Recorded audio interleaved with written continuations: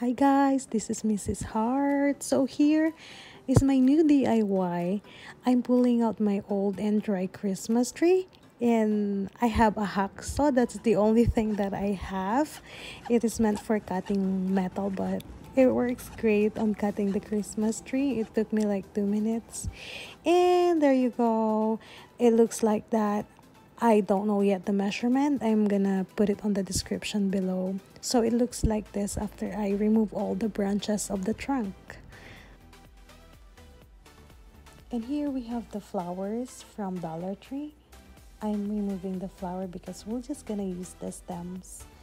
More of, most of the um, stems that I'm using was from my old DIY. I'm so happy I didn't throw it away. And here, I am wrapping it with the masking tape. I just got the masking tape from Dollar Tree. It's really easy.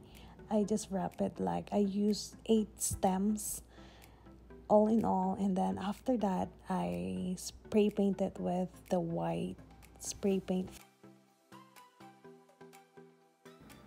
Yay, the paint is already dry, so let's start wrapping the branches with our string lights.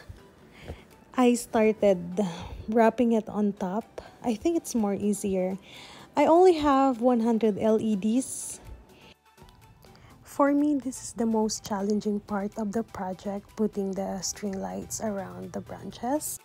Yeah, so my advice is just be patient. You'll get there.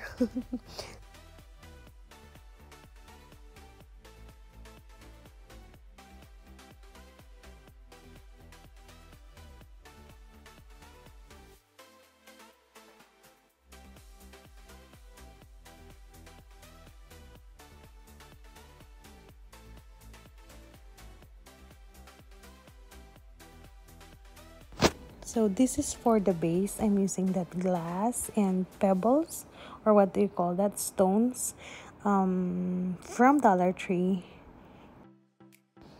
For the final touch, I put some acrylic paint, black, to put some details so that it looks like a birch tree. And oh no, it's tipping over. So I put some glue gun or glue stick because it's like oh it's dipping.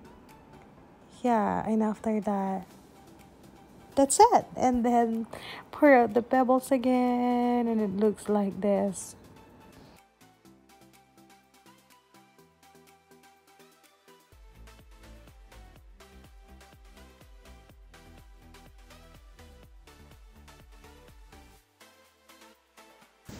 Hey guys, thanks for watching. And guess what? This is my first voiceover. I just tried it and I don't know if you like it. don't mind it, by the way.